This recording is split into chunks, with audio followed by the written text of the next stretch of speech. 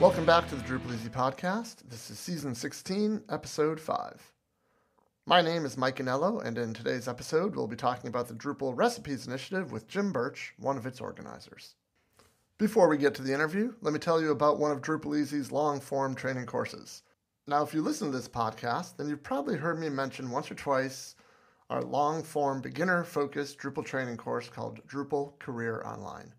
The course is designed to lay a rock solid foundation for becoming a professional Drupal developer, and it gets you access to the Drupal Easy learning community. Among the benefits of this are access to our weekly office hours, community mentors, as well as all of our curriculum updates. Class meets twice a week for 12 weeks starting February 12th. Learn more at drupaleasy.com slash DCO.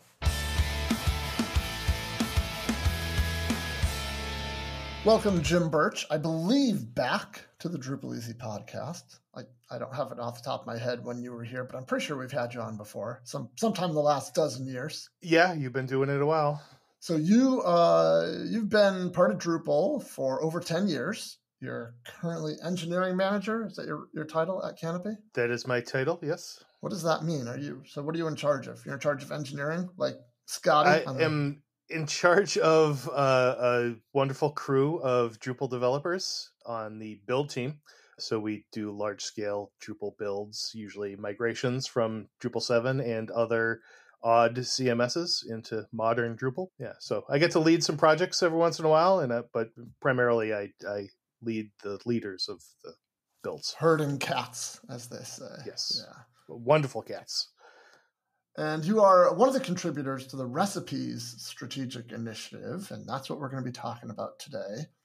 So let's start there and explain to me what is a recipe in you know in Drupal context. But you got to do it fast. Like I'm gonna I'm gonna count you down for like 30 seconds. Go.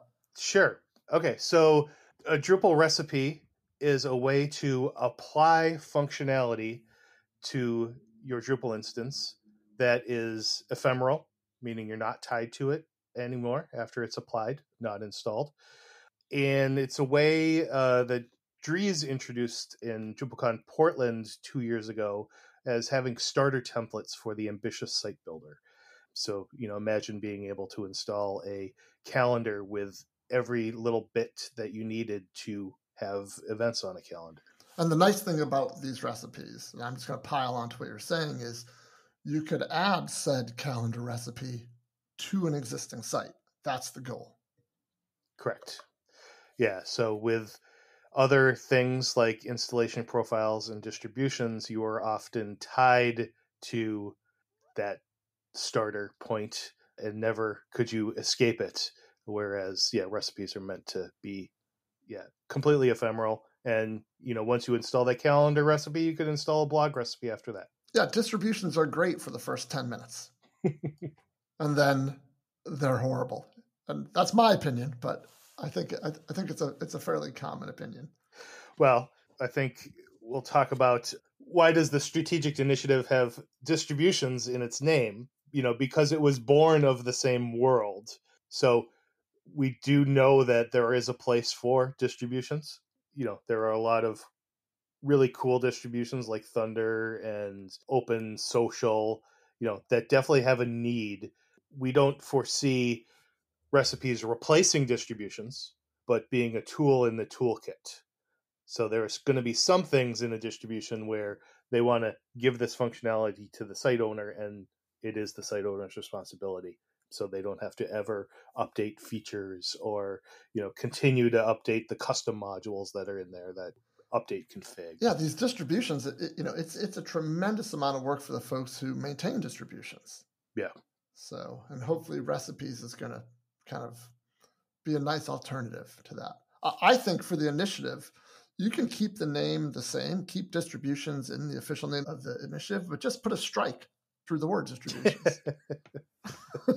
there you go. Yeah. So, you know, we've reached out to the pain points of distribution maintainers you know, we've been asked if there are a lot of distribution maintainers contributing to the initiative, but really, I think they're really busy maintaining their distributions the way they are. So, you know, if they're ever coming out with a 3.0 or a 4.0, yeah. this might be a good tool for them to look at. What's the Greek character that's always pushing the stone up the hill. Mm, Oh, I forget what, but that's what I feel like a distribution maintainer is. They're they're Sure. they're never getting to the top. It's it's yeah, Yeah. yeah.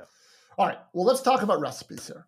We're going to forget about distributions for now. Let's talk about recipes. So, you know, what are they? I mean, to you know, just if I were to imagine what a recipe might be, it would be you know just a pile of configuration. You know, basically, like let's let's take your calendar example. You know, if I wanted to add a calendar to an existing site, I'll probably need at least one module. I'll need maybe a view. I'll need some maybe some theming on that as well. So maybe that's part of another module that I have to add. So it feels to me like recipes are mainly configuration. Now, am, am I off or Mainlings are exclusively configuration. exclusively? Okay. Yes, recipes do not contain any code. So if you do need to require code for your recipe, you would need to require a, a module or a theme that would provide that code. Recipes can require other recipes. So you can you can stack recipes that says do this first and then go do this other recipe. But yeah, to get back to your example, you know, think of everything that you have to click together and composer require to get into that calendar to be done and that's what a recipe can provide So I saw a presentation recently from let's see, Erik uh, Volkernick, I think is how you pronounce his last name, at NEDCamp on recipes, which kind of inspired me to, to reach out to you for this. And he said that a recipe can specify which of a module's configuration actually gets imported when that recipe is installed. Correct. So maybe talk about that a little bit more and maybe an example because I think I understand, but it's you could probably you know explain it a bit more than I could. sure. So while when you enable a module using the drupal admin or drush it automatically imports the configuration that's in the slash config folder and the subfolders install optional override which when a recipe enables a module it does not do that by default. So you would have to specify if you want to import all of the config so you could just say i'm enabling you know the field ui module and then give me all the config that comes with the field ui module. Terrible example because field ui probably has no config. Um, but you could say specify just which configs you want to okay, in, import after you enable the module. So metatag is a good example. Metatag comes with six metatag defaults and a metatag.settings config file. If I didn't want all of those defaults, if I didn't want the 404 and 403 metatags, I could just specify the four metatag configs I want to import. so maybe we should take a quick step back because it sounds like recipes are nothing more than, or let me be precise about this. A recipe is a single YAML file. Is that right? The YAML file is the only thing in a recipe project that is required. So what else could there be that's not required? There could be a config folder. Oh, so the recipe itself could have some config that isn't necessarily tied with one of the dependencies of that recipe. Correct. So Okay. in our calendar example, we would want to create an event content type, Okay, got it. and that would require a content type config, entity view display, and an entity form, the fields that go on that, so a field storage and a field field. So that's where you're creating new configuration. But then there would still have to be, if you want it to be themed, or if you want to just apply layout, or just even just the basic, you know, CSS to it, you would still need to do that in another module.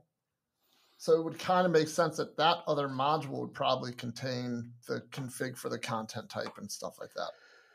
Yes. So what you are talking about uh, has been referred to as recipeception.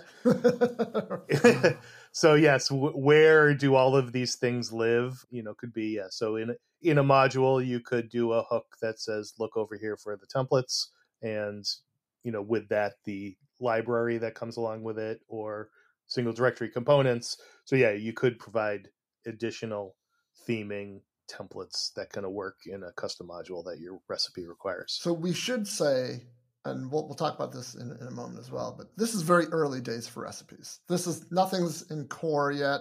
This is not done. This is like being actively developed as we speak. Definitely. The the benefit so yeah, all of the work is being done is in a Drupal project, as is with a lot of modern distributions, which this project is a complete fork of Drupal core. It's not like a experimental module that is enabled. It is going to be part of Drupal core. There's a patch created from this, which you can apply to anything above Drupal 9. We support the last minor version of Drupal, so we're just supporting Drupal 10.1 and above. But you can apply this patch to your local Drupal, and then you can do everything recipes can. And you don't even need to deploy this patch core to your environment because you're applying your Drupal recipe, you know, in your development environments and then you export config, and everything is yours. Oh, anyways. Oh, okay, that's interesting. Okay. So yeah, I mean, it is very experimental, but it's very easy to develop locally and not ever touch your production environment with any experimental code. Oh, okay, and that yeah, that's interesting. I didn't think about it that way. So yeah, all right, that's kind of cool. Yeah, so you could totally develop using a recipe today on your local with this patch on core and then, as you said, export the configuration and then import that configuration into just a regular unpatched version of Drupal core. Yep. All right. So the thing that really blew my mind watching this presentation at NEDCamp was the ability for recipes to alter existing configuration. And that that is where the magic happens. Uh, you say magic, I like that just seems difficult and scary for me. Uh, the the phrase that was used was config actions. So you can apply some action to config. And I looked it up and there's a module called config actions, but we were talking before the podcast. You said that recipes isn't actually using that module, it's using its own code that was inspired by that module. So kind of talk about that, talk about what config actions does and maybe an example of where a recipe might want to alter existing configuration. Sure. So there's like 17 questions in there, so good luck. Yeah, yeah, yeah. No worries. You know, with a, a custom module, you could do the three things I mentioned earlier to config. You could import it. That is, if it doesn't exist, you can import it. If it did exist, it would fail. You can put in an optional folder in your config folder, which would say, you know, mainly used for if you have let's say the help module or the tour module, you know, and you could put extra config in there that would be imported if you have those things. And then there's the config override folder, which says, lookout world, I don't care what you have on your site. I am just going to erase it and import my config. What you could never do was say alter existing configuration, alter somebody else's config like Drupal cores so the config actions API is meant to hook into existing configuration. And then basically, there's a few different ways that you can alter the configuration. So you can just do a simple uh, config, let's call it simple config update. So that's kind of like a, a foo bar. So let's go into the node.settings configuration and set the use admin theme to true. Go into the user dot settings and set the register for Drupal to admin only. So you can go in, you know, to me, it's like the first four hours of every Drupal site. you know, I will go in and click all the things that I don't want set up, you know, no matter if I install with a minimal profile or a standard profile. But you can do really cool things like set the admin theme to Gin and the front end theme to Olivero. And then even then in Gin's admin theme settings, you could go in and set it to dark mode and you set the different colors and you know do a lot of things. So that's the basic config action. There is another one called ensure exists. This is kind of mysterious one to us still, but to check validation on a configuration. So this is how we might be able to work around optional.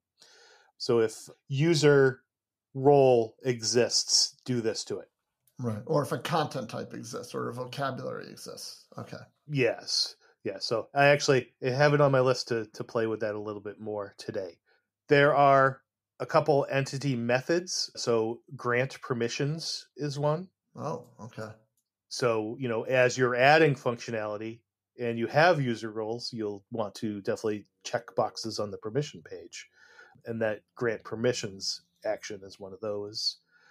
There's set filter config, which goes into CK editor and, and does a few things. So all of this seems like something that as a as a developer who is applying a recipe, or I don't know what the right verb is going to be, you know, when you take a recipe and add it to your site, apply is correct. I would want to know, like, what like I can kind of almost tolerate the fact that there's going to be some config imported, right? There's going to be some new config because that's kind of my expectation. I'm adding a calendar recipe. I better freaking have an event content type or something like that that I expect.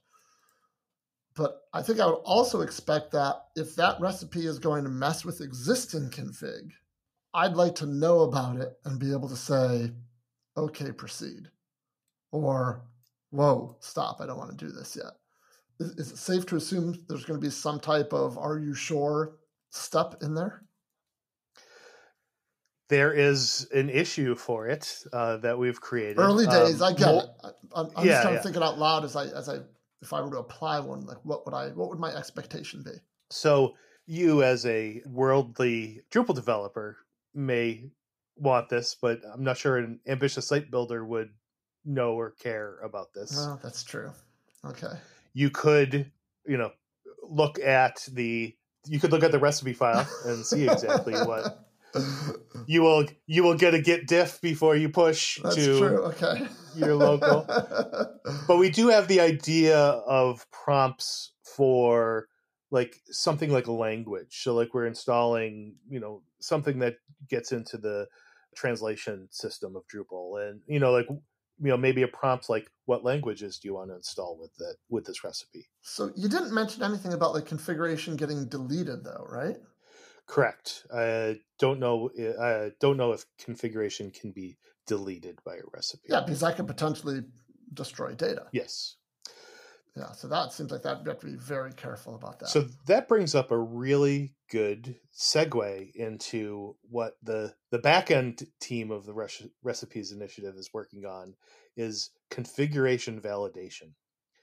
So while the configuration management system in Drupal core is amazing, the guys figured out that none of it's validated. So you could import configuration that just does nothing into Drupal your Drupal instance or could break something. The configuration isn't ever validated. So that's what they're working on right now to help ensure that yeah, you're not going to do bad things when you import a recipe but where does config schema fit into all that? Because that's kind of validated. It is. It, well, config schema defines what the fields are, but it, nothing's validated in it, to my understanding.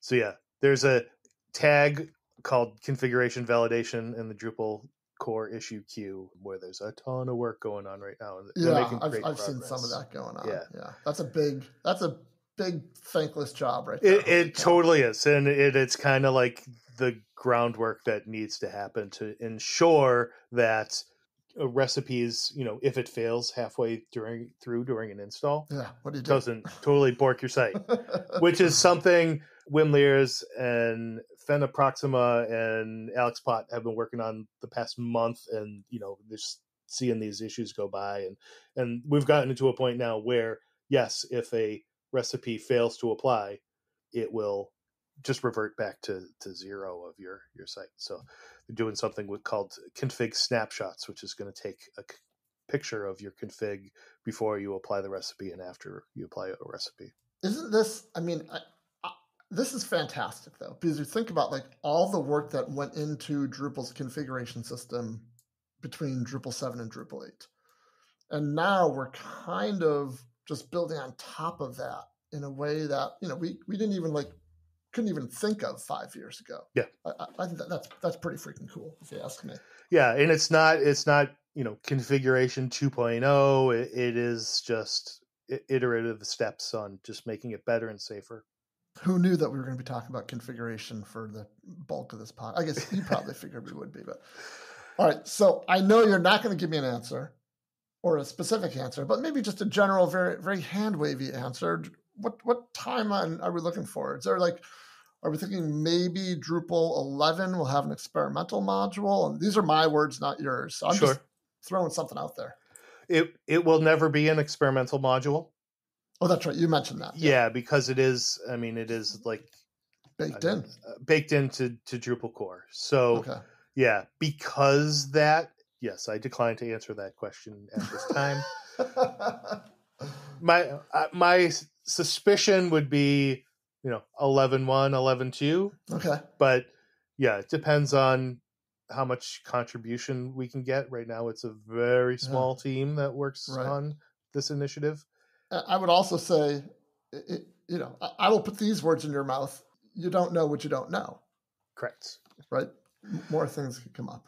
Yeah, so that that's why it's great for experimentation right now. You know, I am definitely not a backend developer. I'm, you know, mm-hmm. like you said earlier, I'm more the manager of of people now, but I am definitely a recipe creator. And as I create recipes, I find things that I go back to the the backend team and say, "Hey, what about this? Hey, what about that?"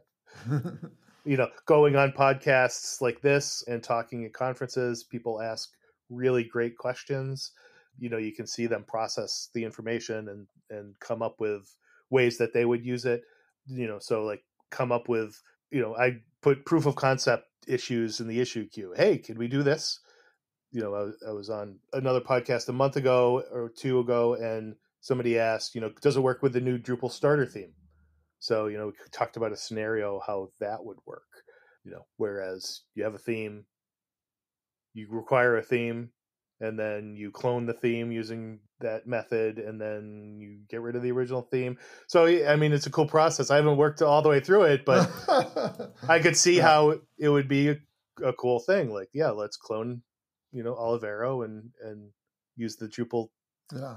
Starter theme functionality to clone it into your own theme and then you don't need olivero after that so how do we get rid of it let's talk about a little bit if someone wanted to play with this today kind of like the way you're talking about it is creating a recipe and just playing with it.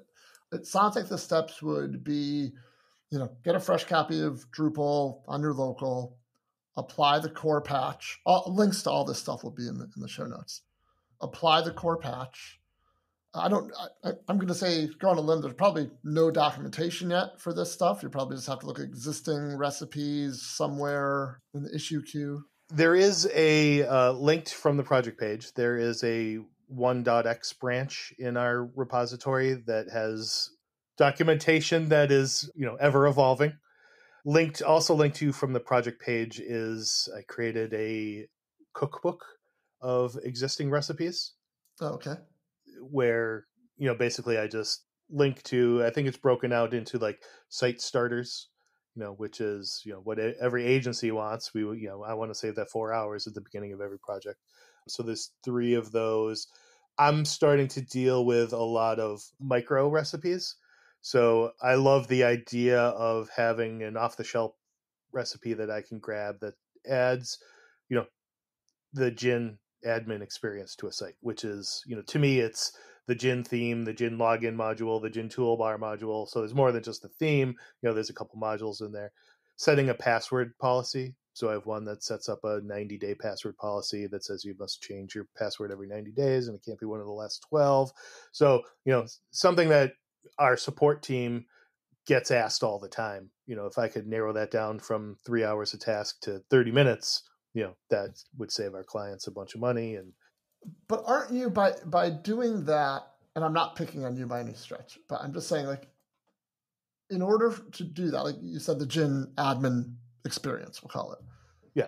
It sound well, correct me if I'm wrong. Would would all of that be wrapped up into a single recipe?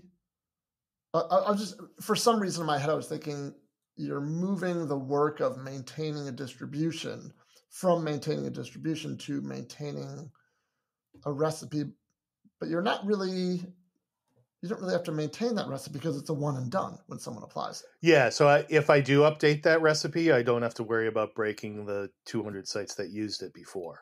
Right, right, right, right. All right, so let's say someone builds their own recipe or, or, or grabs one of the ones you know from the from the, the the links you're talking about. How do they apply it? So there is a core shell script in Drupal. Oh, okay, old school. Yes. So this is, you know, it's at var core PHP Drupal, I think is the location. And that runs the recipe runner that is in core and applies the recipe. So recipes are set up like uh, your modules and themes folder. So you have, you know, where you have slash modules, you'd have slash recipes. You know, in that the idea of you have a core and contrib, contrib and custom. yeah, contrib and custom folders in that so yeah, you just run this script and say where the recipe is and apply it. With local recipes, you have to make sure you maintain all of your dependencies. We have some commands uh, and some documentation to help you use contributed recipes from other repositories that have composer.json files because I have to host the Gin admin theme. I need to require the Gin admin theme and the Gin login and the Gin toolbar modules. So I have that in a package that can be installed using Composer. The next cool tool is a module called, or a package, a Composer installer package called Drupal Recipe Unpack.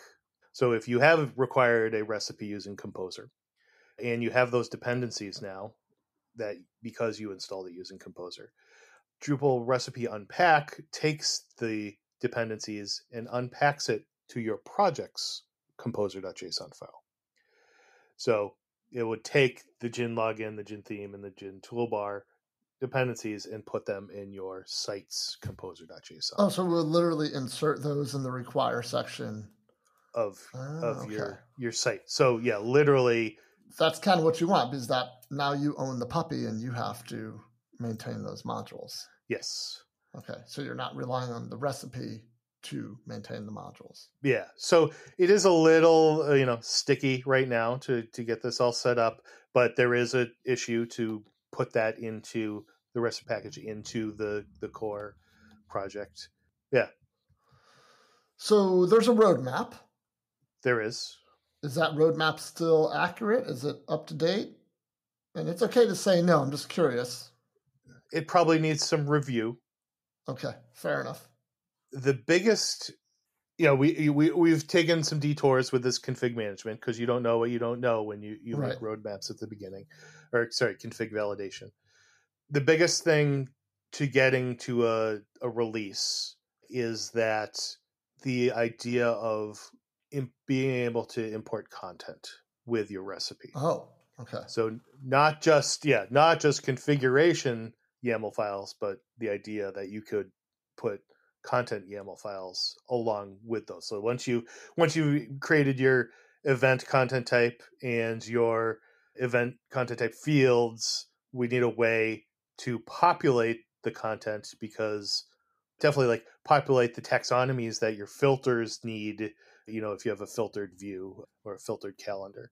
That's kind of like uh, the last big hurdle that nobody's looked at yet that it would be needed for an ambitious site builder to install these things. So is that going to build upon an existing contrib module or is that going to be all new or unknown at this point? The the idea, the current running plan is that it would be really cool if the default content contrib module would be moved into core and we could use that. Oh, interesting. Okay Yeah. because I think still core initiatives, core projects can't require something that's in contrib. Right. So that that would need to be in core also. But yeah, that's the last big hurdle on the roadmap to getting it into core. So let's talk even further down the line because I think when people think about recipes and the ambitious site builder, it would be great if there was a place you could go and browse recipes and click a button and have that recipe automatically install which is pretty much what Project Browser is going to bring to Drupal for projects for for modules and base themes and things like that. And it, it's it's on the roadmap. It is. It, it's phase three on the roadmap. So I mean that's that's a ways out. I'm sure there's no work happening on that yet, but is that kind of the the end point as far as we know? Like is that like the ultimate goal at this point? Absolutely. And we actually saw a demo yesterday that Adam phenaproxima made where he created a project browser plugin that said, look at this folder and, and find this recipe and, and was able to do a pretty quick and dirty proof of concept. Oh, that's exciting. With the project browser. Yeah. So yeah. Uh, you know, definitely a lot of things need to happen. Project browser, the way they did build the endpoint plugins is amazing that it is expandable like that. To do that, we would need to have a new project type on Drupal.org called recipe. We would need to update Composer Drupal scaffold and Composer installers to have a Drupal recipes type. Right now, we're doing that all by hand thanks to the Oomph Inc. plugin, Composer plugin. So yeah, it's it it's not trivial that that happens, but it is a hundred percent doable. Yeah, so that would be a really cool way for ambitious site builders to discover existing recipes that could yeah just one click and install and yeah. and bang you got your calendar and plug in and you didn't have to pay for it or didn't break your site? So all right let's wrap this up. If folks are interested and want to learn more or even help out give me like two or three places that they can go. Sure. So the most discussion happens in the drupal slack. It is the distribution and recipes channel. We meet every other week on Tuesdays where we have an asynchronous meeting so you don't have to necessarily be there on time but you know we create topics to discuss and, and put in links. There's the distribution and recipes project where we have an issue queue and reach out to me. We have definitely have skill level or we have something for every skill level. You know so we have documentation tasks for writers and we have you know a lot of proof of concept and recipe creation issues or tasks for site builders and YAML creators, and then there's a lot of back end issues too. Is there one good place where people can go to get started and basically says, download Drupal core, apply this patch using, you know, this, and then do that? Like, what's the, is there a place people can go to like run those three or four steps and be able to see something? Yeah. The, I have a a task to wrap up a, a, a, getting started document, but that is that is or will be linked to from the project page. All right, perfect. So yeah, yeah, go into the distribution and recipes project page is is probably the best starting point. All right, all these links will be in the show notes. Jim, always great catching up with you. Yeah, sure. Thank you for all your hard work and uh, everyone on the team. It's a it's a pretty good team. It is from from what I've seen. So I'm I'm sure you'll find success soon enough. Yeah. One thing I'd like to leave you with, like contributing to these initiatives. You know, it's kind of like you know if you've ever gone to a Drupal camp or a Drupal meetup, and you know if you if you go once, you know everybody's super nice. If you go twice, you know you're going to get invited to the hosting committee or, or something like that. You exactly. know, if you, and if you show up to that, you you know you're a lifer. You know, so at DrupalCon Pittsburgh, uh, you know, I gave my presentation where you're at. You know, I, I got to say I don't know, and I'll have to get back to you a lot in that because of all the great questions. But you know, we had a, a table in the contribute room, maybe six people there consistently working on a lot of just getting it set up. Alex Pott, the maintainer at the time, wrote all the code for this or the, the base code, was on sabbatical. So you know, it's kind of like a, bu- a, bunch of site builders trying to figure out backend code and how to make this all work. and you know, we we contributed every day of of DrupalCon Pittsburgh for four hours or so, and by the end of it, we got one issue committed. This was a, a config action called set component. This is like how you you'd add a field to an existing content type.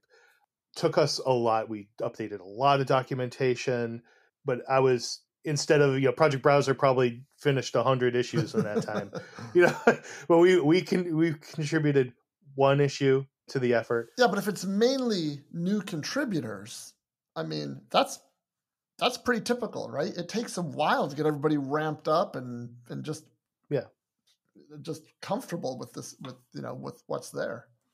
Uh, and and it was great because this one issue you know added a whole nother config action. So we added 25% to the config actions effort.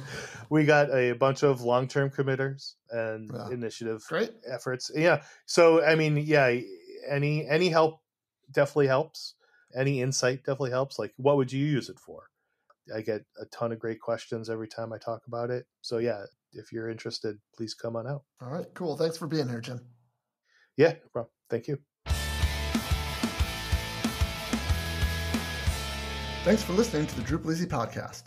Don't forget to check out all of our long form Drupal training courses at drupaleasy.com and stay tuned for the next episode of the Drupal Easy podcast. See ya!